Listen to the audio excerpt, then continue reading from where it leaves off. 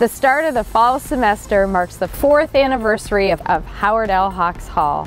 Thanks to you, our generous alumni and friends, Hawks Hall has been a gift that continues to keep giving. It brought all areas of the College of Business together under one roof and serves as a central hub for our Nebraska business community to gather, collaborate, and do big things. It not only raised expectations, but challenged us to think differently, create a strategic plan to lead the future of business, and build a world-class college. At Hawks Hall, we stretch our strengths, build lifelong connections, and foster a sense of community where every person matters. Last year, we transformed a space in Hawks Hall for our new Diversity and Inclusion Gathering Space.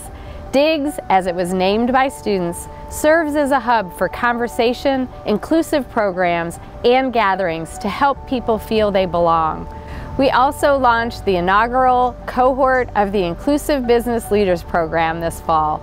This cohort-based program brings together first-year business students who demonstrate a commitment to making Nebraska business and the business world a more inclusive environment for all. We partnered with Nebraska Athletics to make their Nebraska program one of the most extensive and beneficial in the country. It will prepare student athletes to maximize their name, image, and likeness potential long term.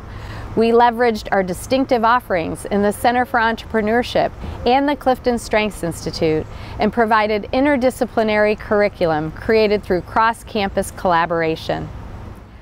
Our graduate programs continue to provide a high return on investment for our students. We recently added a master's degree in supply chain management and two new graduate certificate programs in strategic marketing and marketing analytics. Successfully completing one of our seven certificate programs enables students to smoothly transition into our online master's programs where credits earned from the certificate can be applied to the degree our highly ranked MBA at Nebraska was recently recognized by the Wall Street Journal for having the fifth lowest debt to income ratio out of more than 500 schools. These are only a few of the many ways Nebraska is leading the future of business, and it all started with your support and engagement. Together, we do big things. Together, we are building a world-class college. We are Nebraska Business.